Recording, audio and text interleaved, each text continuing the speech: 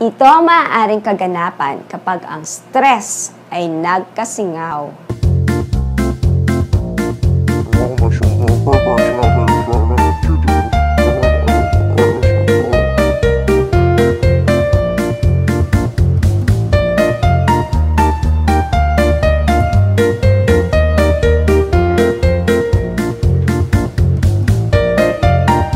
Kapag may crater sa loob ng bibig, ito ang apat na diskarteng hindi mo pagsisisihan.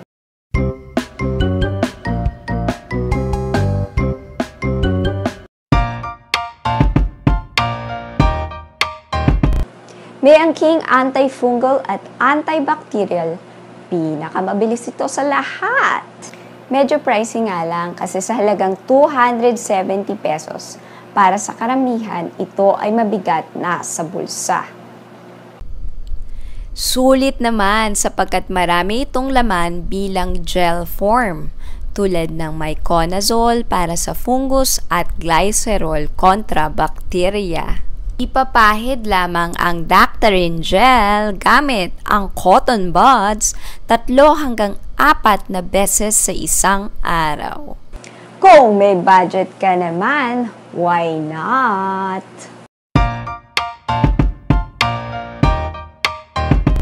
Thirty pesos lamang, depende sa brand. Aayaw ka pa ba? Subukan ng murang alternatibo na ito.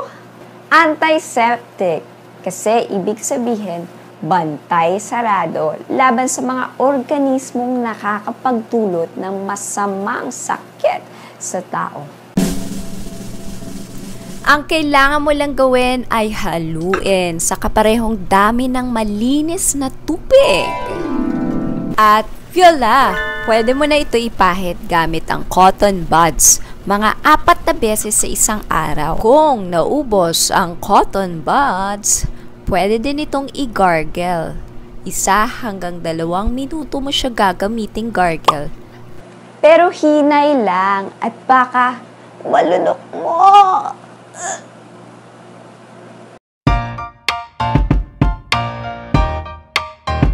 Ang vitamins B12, C, E, at zinc ay mga bala para ang immune system ay kumasa paputok sa mga nilalang dapat mairedika.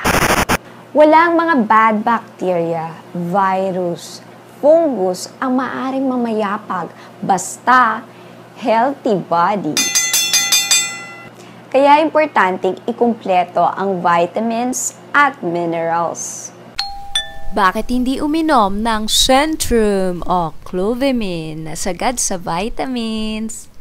Hindi mo naman bilang kung alin at kung gaano karami ang vitamins mo, di ba? Sa madaling salita, praktikal ito. Mas mura ng onti ang Clovemin kesa Centrum pero halos parehong-pareho lang ang laman.